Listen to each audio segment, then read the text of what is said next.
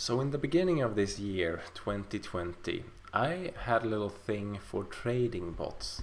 I was a little bit intrigued, a little bit interested. I was thinking about an ordinary trading bot on the stock market and that didn't excite me at all. So I kept looking around and after a while I encountered Bitskins, which is a site where people trade their Steam assets, mainly Counter-Strike Go skins. And I looked at their API and saw that they have WebSockets in their API so you can consume things being listed on the fly. So there was my match made in heaven. That sounded really fun. And now it's been 100 days since I finished and deployed this bot. So it's about time for a little checkup and a little profit report. Also, welcome to the channel.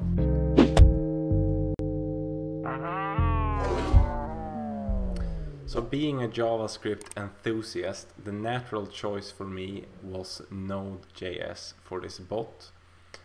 And I also realized that I need somewhere to keep track of the buys and sells that I'm gonna do and I want to have some kind of report on am I making money or losing money on this.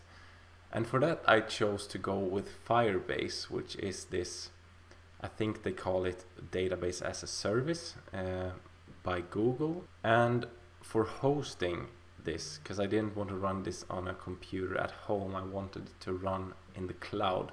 So I choose Google Cloud Platform uh, so I have the node server running on App Engine.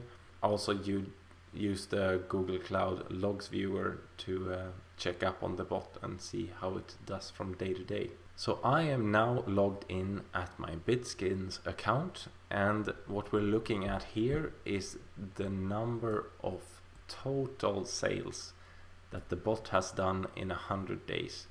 So the sale volume so far is $553.50 and I'm one fifth the way up to 2500 and you would want to reach that because then Bitskin's cut is lowered from 10% to 9%.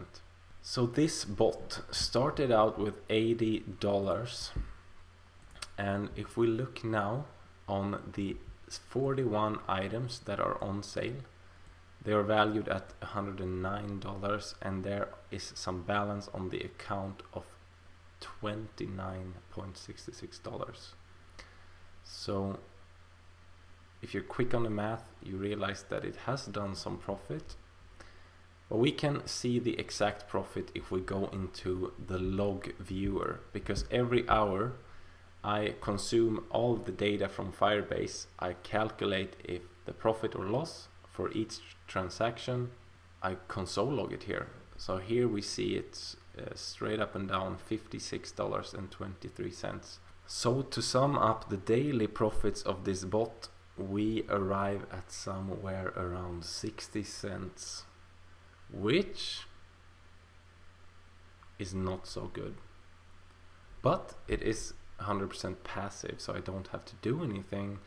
And I'm not doing this for the money I'm doing it for the challenge. And that's how I think about most projects is if I can gain knowledge from doing it then I value that a lot higher. But this has been really fun a really fun project and the bot has been doing a great job. There's a tip from me by the way, always call your scripts and projects bots instead of scripts or I don't know web apps. Call them bots, it makes everything more fun. So by giving the bot $80 it was able to add $56 to that. So I think that's pretty cool. It's it is passive income even though it's not a big passive income. I would call that a good time. But Google Cloud Platform has a, a trial period you can use so you don't have to pay anything to have the bot running.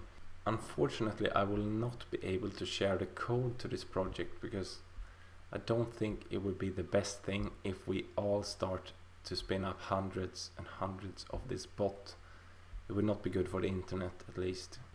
So I hope this was exciting for you uh, I did not mean to brag about my huge profits from this bot. Um, I was hoping to inspire you to build something weird of your own. If you do like the content, you could be a subscriber to the channel, but you don't have to. Um, I will see you guys next time. Thank you for watching.